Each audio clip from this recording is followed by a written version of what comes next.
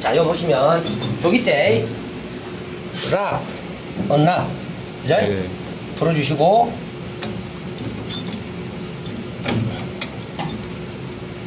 네네네. 각도, 네. 그죠?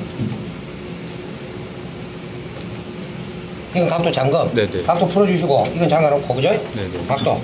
각도 이거 보시면 스토퍼 있죠? 네네. 직각 스토퍼. 네네네. 이게 좀 안 맞으면 이걸 네, 조금 그렇죠. 더 풀거나 당겨가지고 저 그렇죠. 각도 네. 조정하실 수 있겠죠? 만약 마이너스 각도가 필요하시면 제끼시고 넘기시면 아, 네네네. 마이너스 각도 네네네. 예? 체크 제껴주시고 일단 이렇게 맞추겠습니다 그 다음 lock 네. 예? 그 다음에 요거 제끼시면 아, 네. 정반 앞뒤 이건 최고 8인치 저건 12인치 그래서. 긴 거 하실 것 같으시면 이걸 작업하시는데. 폭이 큰 거 하실 것 같으면 저걸 작업하시면 네. 되겠죠 두, 조- 두 개나 있으니까 이제 자 파워매틱 스위치고 네. 초록색 불 들어와서 기계 돌 준비되어 있는 겁니다 네. 스타트 네. 빨간색 누르시면 스타트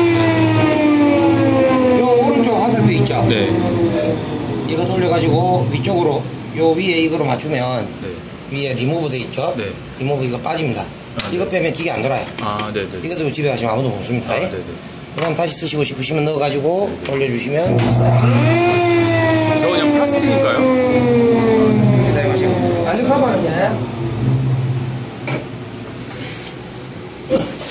여기도 보시면 공부 있고 네네. 이건 아이들 이거 배들 보장했던 거 버리고 요것도 네네네. 있습니다 가능하시면 이것저것 쓰시고요 안전 커버는 장착해 놓을까요? 네네, 해주세요. 네. 네, 요거 안전 커버 포함이 요거 장착해 놨게요 네네. 요건 여기 걸어가지고 네. 탱탱거리는 네. 겁니다 자, 잡으면 돼 잠시.